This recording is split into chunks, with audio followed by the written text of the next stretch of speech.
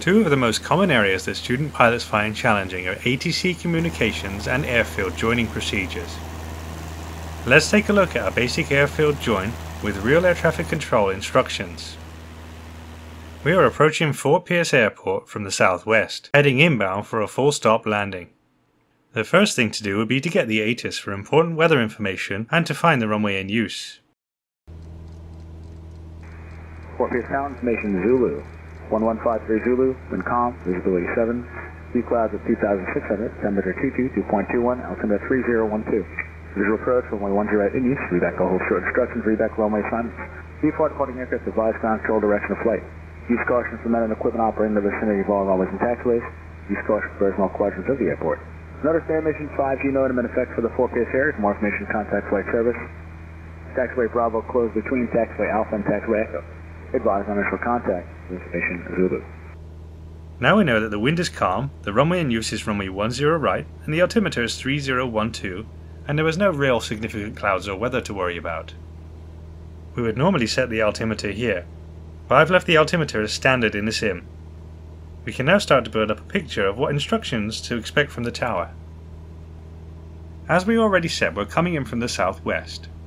If we're expecting runway 10 right, it's likely that we're going to be asked to join the airfield in one of two ways.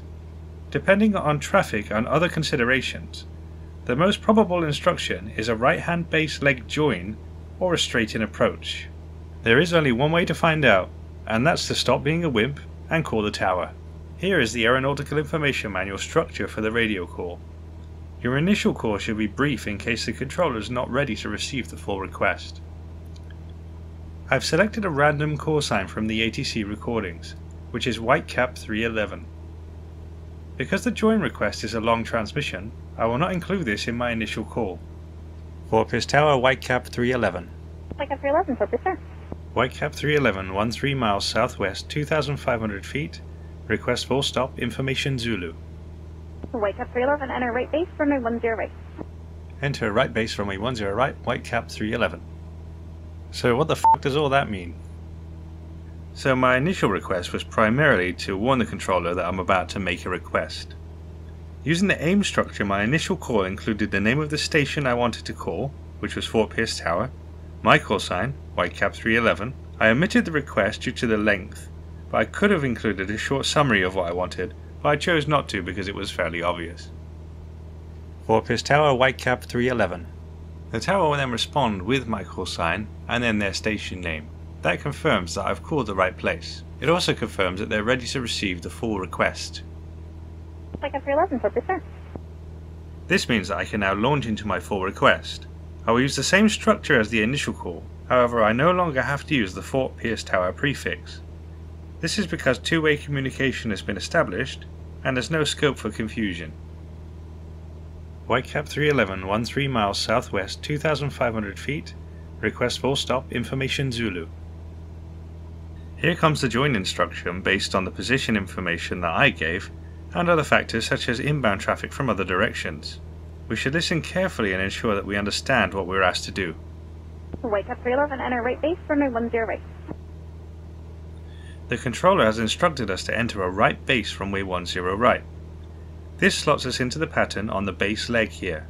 We should read back the instruction to ensure we've heard it correctly. Enter a right base runway 10 right, Whitecap 311. So now all we have to worry about is how to fly it. We're now around 10 miles to the southwest of the airport. We're also getting a much clearer view of the airfield, which is here. The runway arrangement isn't obvious yet, but that's okay, we know the direction of the runway and can position ourselves accordingly. If we visualize the pattern around the airport, we can give ourselves a good picture of how and where we need to maneuver the aircraft to give ourselves enough room to organize the descent and turn onto the base leg. To achieve this, we do need to be approaching the airport from somewhat of a south direction, so widening out to the right at some stage will probably be a good idea. So the plan for now is to continue towards the airport, keep a good lookout for other traffic joining the airfield and also traffic departing, which is going in the opposite direction, position myself slightly to the south of the pattern, then join the base leg and make the report to the tower. We are now around 8 miles to the southwest of the airport. and I have made a slight power reduction to begin a gradual descent down to traffic pattern altitude. This airport is more or less at sea level, so 1000 feet will be sufficient. The airport does have parallel runways. This is a potential source of confusion. It's important that we are aware of this possible error and mitigate it accordingly. One way to do this is to keep the airport diagram handy and as the ground features become more apparent, we can start to pick out the key landmarks like runways. For example, the diagram shows runway 10 right is a much larger stretch of asphalt than runway 10 left. It also shows that the thresholds are staggered. We should therefore see a runway which is slightly further to the west and smaller. This looks like it here. The larger runway is a little further to the east and to the south side of the one we just identified. This looks like it might be it. As you can probably see, I've now started a right turn to head towards the position south of the final approach, where I can later make a left turn to join the base, which is perpendicular to the final. I'm just making a further power reduction now to expedite my descent down to the traffic pattern altitude. What I'm doing now is I'm looking out to make sure that I'm not going to converge with any traffic joining in or exiting the pattern. We have a much clearer view of the field now. The runway is much easier to see. We're now just about entering the Class Delta airspace. I'm now starting a left turn towards the beginning of the base leg. So if we were to visualize the pattern now, the final approach is here, and the base leg is here. The approach for the parallel runway is here, and it's important that we don't overshoot or extend the base through the final for our runway to avoid conflicting with traffic on runway 10 left. So we're approaching the base leg, passing through 1300 feet, so approaching the traffic pattern altitude. We haven't heard anything from the tower since earlier when they said, Whitecap 311, enter right base, runway 10 right. So we need to contact the tower when established on the base, or just before that, for further clearance. I'm just making a power reduction to reduce the airspeed to start configuring the aircraft for the approach. The airspace seems quiet, so I don't anticipate any delays or extensions at this point. Aiming for around 75 knots with the flaps at 20 degrees is a sensible configuration at this stage.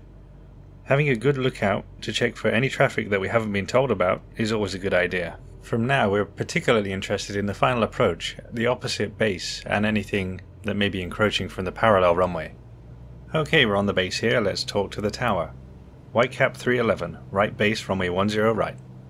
Whitecap 311, roger. Runway 10 right, clear to land. Runway 10 right, clear to land, Whitecap 311. Okay, so here I reported our position, as this was the point that we were cleared to. The tower then acknowledged my position report and cleared us to land on runway 10 right, which I read back. I can now continue to final and land without any further contact with the tower. So here I'm using the base leg to judge whether I'm high or low, and making power adjustments as required to adjust the path and maintain the speed. I'm starting a slightly earlier turn than usual. This will help mitigate the threat of traffic from the parallel runway. I know due to the earlier turn that I'm not going to overshoot, and I'm giving a margin in case anybody does on that side. I promise it has nothing to do with the fact that I have a bad habit of cheating in the sim and turning early because I want to see the runway easier.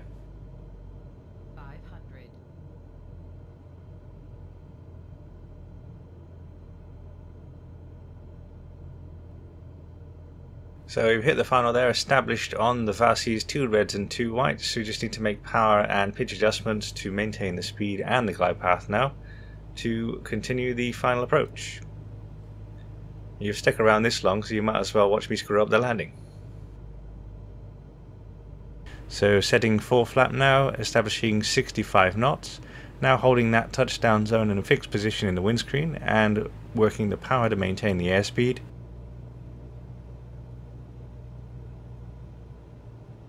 A little bit low there, so just making a small correction for that. Looking across the threshold there around 50 feet with 65 knots of airspeed. Ease the aircraft into ground effect with a little bit of back pressure, close the throttle completely, maintain the landing attitude with a bit of back pressure, hold that attitude until the aircraft settles down onto the ground. After landing, in the absence of any further instructions from air traffic control, we are to take the first available safe exit from the runway. So there's a turning coming up here which I'm braking for. That should be sufficient. We take a right turn off here and then uh, hopefully the tower will tell us what to do next.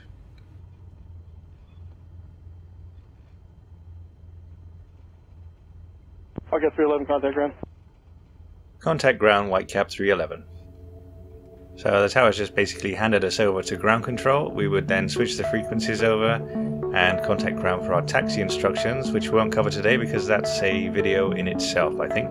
Thanks for watching.